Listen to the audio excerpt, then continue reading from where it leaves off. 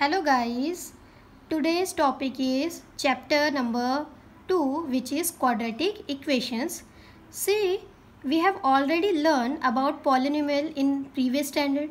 Here, for the quadratic equation, the two conditions are if the degree of polynomial is 2, it is called quadratic polynomial. And second, the equation should have only one variable.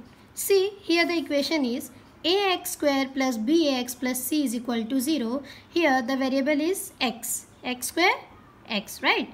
And the coefficient a, b, c are real numbers. But a should not be equal to 0. Why? If a will be equal to 0, then your equation will be linear polynomial which is not a quadratic equation. So, accordingly, our to get quadratic equation, the highest degree should be 2. Okay.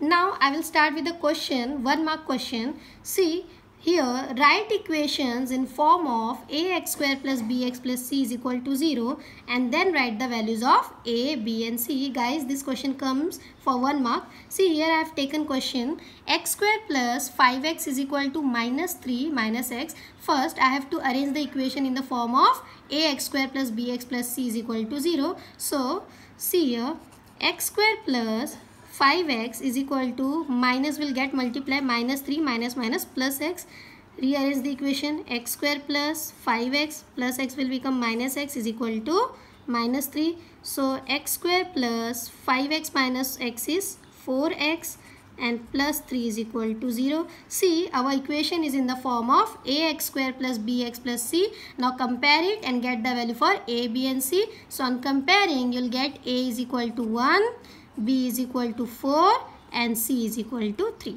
Now the next question is find k if x is equal to 3 is a root of equation kx square minus 10x plus 3 is equal to 0. See what is the value, uh, what is root?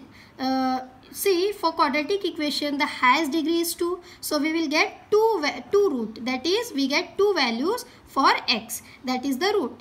See here the root is x is equal to 3 to and to find the value of k this root x is equal to 3 should satisfy the equation. See so by substituting the value of x you will get k 3 ka square minus 10 into 3 plus 3 is equal to 0 because x is equal to 3 is the root of the equation.